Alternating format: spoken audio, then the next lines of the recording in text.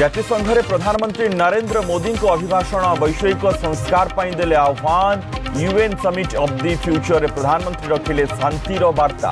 কইলে বিকাশ দ্বারা শান্তি সম্ভব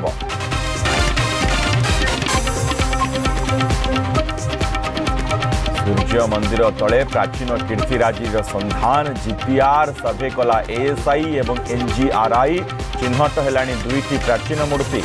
ପନ୍ଦର ମିଟର ତଳୁ ଠାବ ହେବ କୀର୍ତ୍ତିରାଜି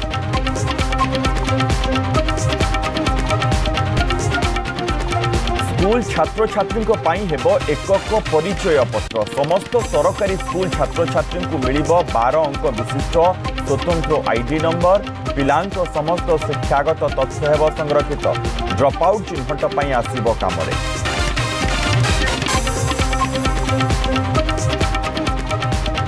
ବନ୍ଧାଇଲାଣି ପିଆଜ ରସୁଣ ଦର ବଜାରରେ ଷାଠିଏ ଟପିଲାଣି ପିଆଜ ରସୁଣ କିଲୋ ଚାରିଶହ ଖାଉଟି ହତାଶ ନାସିକ ଓ ଆନ୍ଧ୍ର ଉପରେ ଦୋଷ ଲଦିଲେ ବ୍ୟବସାୟୀ